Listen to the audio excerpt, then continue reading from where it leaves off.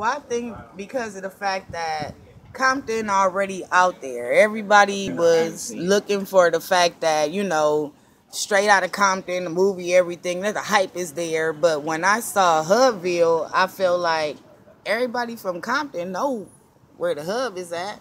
You feel me? We in Compton. So when I saw that, I'm like, oh, I need that one. I need that one. You feel me? That's that's different than just going to pick up a Compton brand and just having it out there. So that's the reason why I inquired about it.